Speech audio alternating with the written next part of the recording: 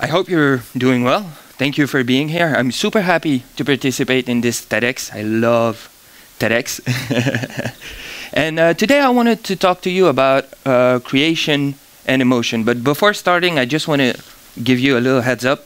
I'm going to wink at somebody in the room to change slides. I'm, I'm not hitting on your girlfriend or I don't know.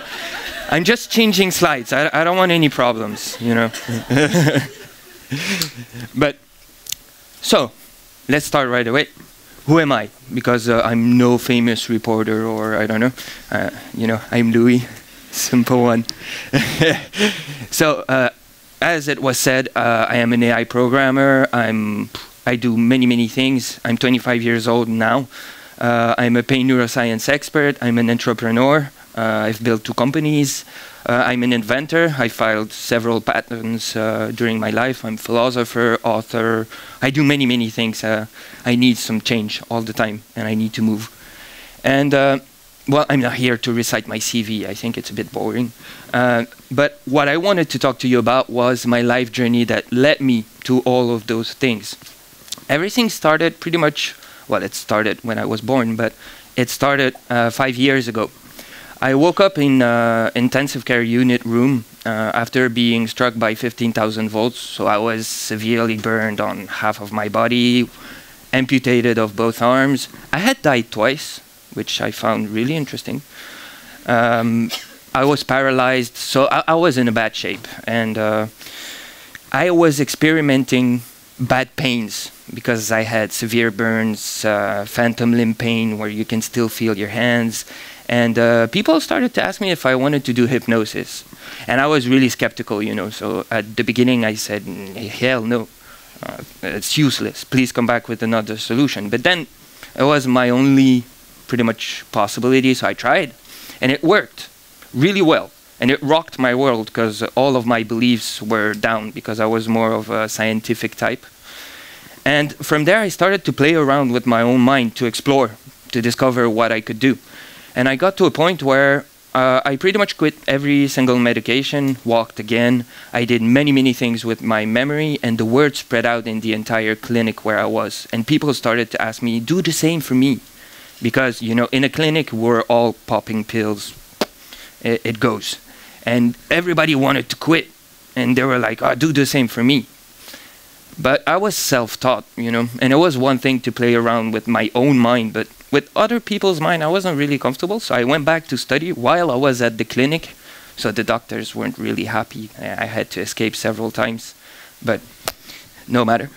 And I studied pretty much everything that I could find uh, psychology, philosophy, neuroscience, anatomy, physiology, pathology, everything that I needed to be comfortable to become a therapist. And then I became a therapist and I started to specialize in pain, but I worked also with many, many professionals on diverse problematics. Uh, I found solutions with my patients on anxiety disorders, depression, phobia, addiction, eating disorders. I was pretty much all over the place. And through that experience, I saw something emerge one very powerful strength for everybody. And there I was, well, using that strength to cure certain problems, but I saw it emerge and I started to do a theory. I created um, a new approach to mental health. And from there, I automated it uh, with AI, virtual reality, some uh, programming. And that's what led me to be an entrepreneur. And that power that I discovered, well, it was the power of creation. It is our biggest power. And inside of creation, emotions have a very, very particular role to play.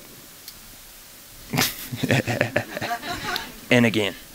But what is creation? Oh, again. if I had to define creation, for me it's an original and innovative sequential combination of entities, so to engender new entities. So it's a long definition, so pretty much you're putting things together in order to create new ones. And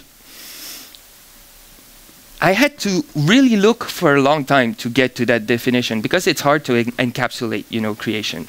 And so let's take just an example uh, and let's talk about artificial intelligence. It's, it's pretty trendy right now, and I work in that field. So what you need pretty much for artificial intelligence are three things: computational power, databases, uh, pretty much a lot of data, and efficient algorithm. Those are the three key components.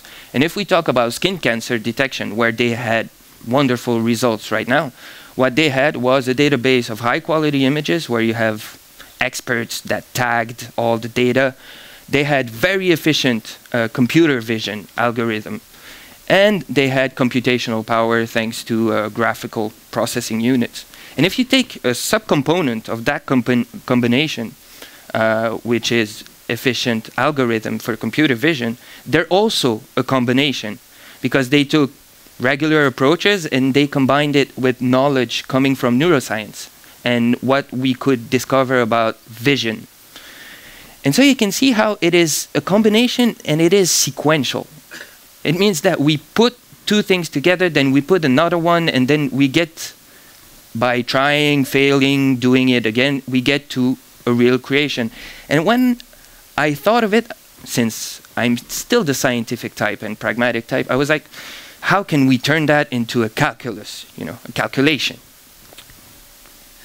And I thought, okay, we need some parameters. We need a certain number of objects, techniques, concepts, since it is a sequence, some steps. But those are only the possibilities that you can have, you know.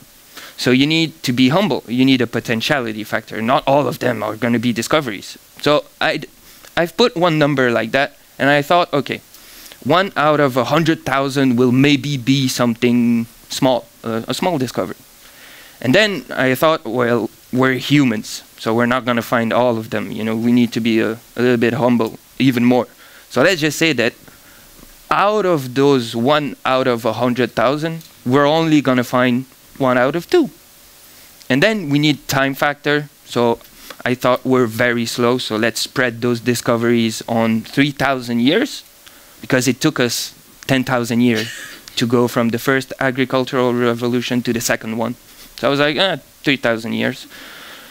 And let's just say that we need five minor discovery to get to a new one, you know, to have a new building block for our creation process.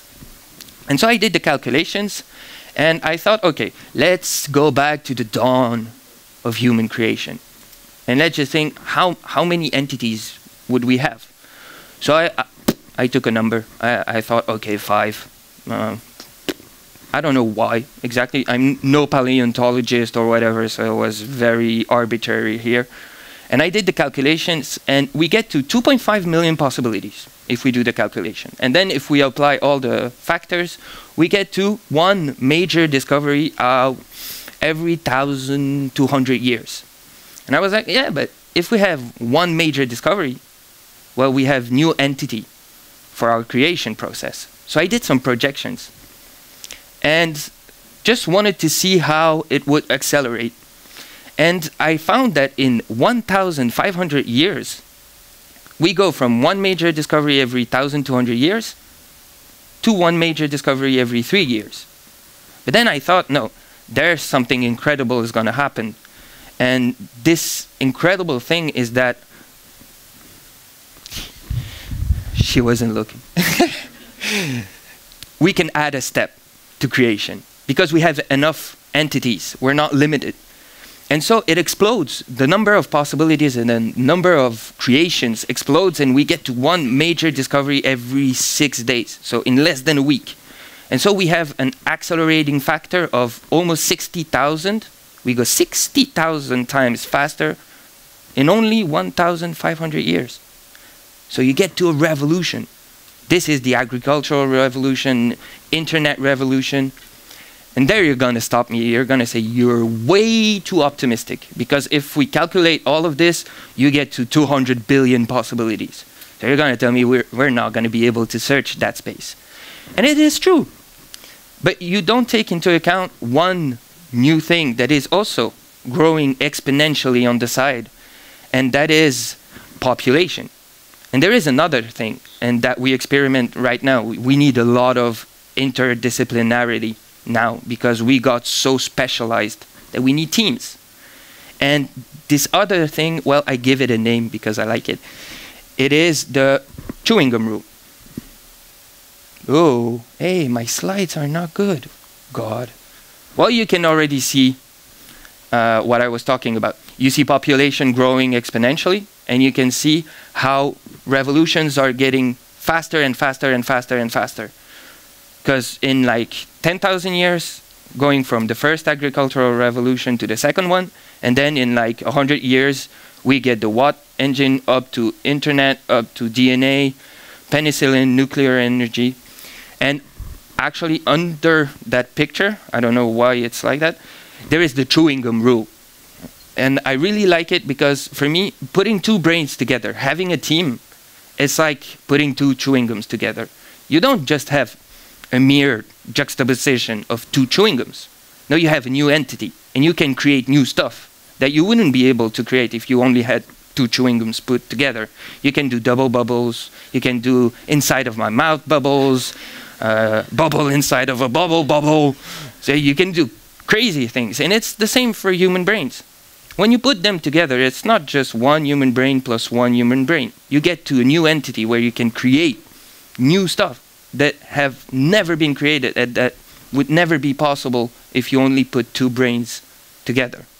Then I started to wonder okay, so we know it's a combination, you know, it's a sequential combination and it is exponential, but where does the, the building blocks coming from? So I turned to science because I really like science. And I took a look at neuroscience of creativity. And I found that in creativity, when you do divergent thinking, so when you really create, there is one set of brain areas that is consistently active. And it's called the default mode network. This network is also uh, associated with uh, autobiographical future planning. So pretty much when you create objectives for yourself, theory of mind as well. So when you create and you, you try to infer what another people uh, person is thinking. So it's really about creation. And then I started to look, okay, what is it linked to others? And it's linked also to self-referential processes. So everything that concerns you. And to episodic memory, recall. So it's pretty much when you try to remember an episode of your life. And there it struck me, it was actually pretty much, it was very clear. What originality originates from our life story. That's something you're going to tell me, yeah, okay, we know that. It comes from everything that we have learned, we have loved, dreamt, even what hurted us, what we hated. It's normal. But for me, this tells us one important thing, and I just had a little bit more fun with mathematics. And I thought of, you know, all those occasions where you're in a meeting and you cannot really be yourself. You know, you're not 100% yourself. You're 80%. There's somebody pissing you off, saying really, well, bullshit. And you're sitting there and you don't say anything, you know. You just wait. You're not being yourself 100%. Or sometimes it's also because you're not really comf comfortable, confident to be yourself. But when I did the calculations and I thought, okay, let's leave out 10% of who we are on a five sequence creation with 100 possibilities per step.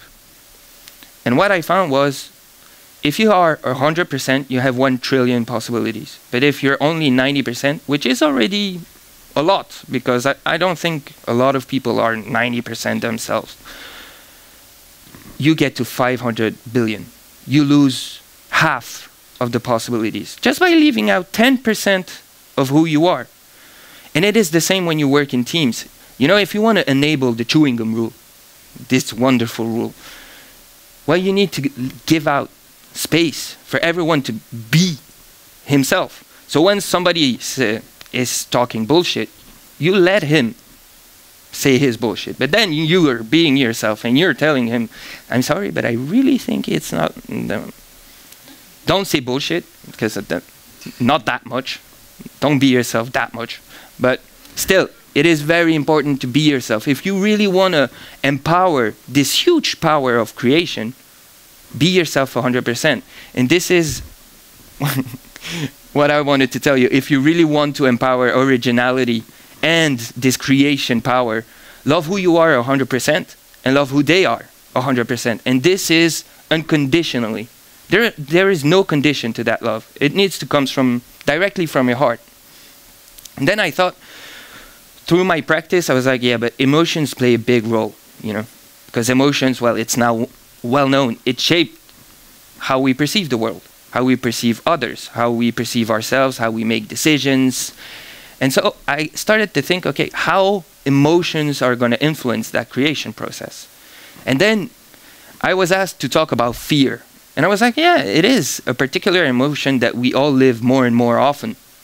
And in a very diverse fields of our lives and more and more fear, uh, fields. I mean, you have fear, uh, economic crisis, healthcare, future. We have a lot of fear. And I went back studying and I was like, okay, what are the outcomes of fear? And theoretically, you have three outcomes you have fight, flight, or freeze. So pretty much either you fight, either you just run away, or you don't move. But creation through fear, if it goes into one of those three directions, it's not going to be viable, real solutions, really productive ones, you know? Because they'll be imprinted by violence if you really fight, or by immobilism if you freeze, or traditionalism, or conventionalism.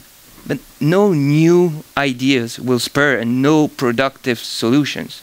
So you're going to tell me, okay, cool, we have three outcomes and pretty much no viable solutions there. So what do we do with our fear? Well, through my experience, I have a good news. I discovered that there is a fourth one. As you may imagine, I've experienced fear uh, more than once. Uh, fear to never walk again, fear to never be autonomous again, fear of what my life could be. Uh, I didn't. I, I wasn't afraid of dying since it already had happened twice uh, fear of what, how I would create a future for myself. But I decided to not let fear stop me. I wouldn't. I didn't want to freeze. I didn't want to fight because I'm not the violent type. I didn't want to flee either. So I started to look for another solution, and I started to think about that fourth F, and it is facing, facing fear. You know, it is standing at the very border of the bridge, looking down, and take that decision. You know, that decision in a split of a second to overcome fear. And when I found that you could face productively your fears, I started to wonder how? What makes that possible? And then it hit me. It is very simple, actually. It's to have a dream. But not any dream. Because it is a dream that needs to be bigger than yourself, bigger than your own self interest. My dream that allowed me to overcome those fears, it wasn't about getting famous, getting rich, or God knows what. That dream was to bring that power that I had found to the world and to create that therapy to help people and to create this company to give that power to a maximum number of people all around the world. So that dream was bigger than myself. And so it hit me. If we want to create the new revolution to overcome fear, we need a dream that is bigger than ourselves. And if we do that in teams, which is pretty much necessary right now, we need a common dream. A common dream bigger than the self interest. And if you have to think and to pretty much remember one thing from everything that I have said, you know, take out the calculations and all those stuff. Remember this no matter the circumstances, love yourself 100%. Love others 100%. Love diversity. Love being being put back into question. Love questioning yourself and your beliefs. Dream bigger, way bigger than yourself. And dream for humanity. Because we need solutions right now. But we need to work together and we need to share a dream not to share a fight. Thank you very much. Yeah.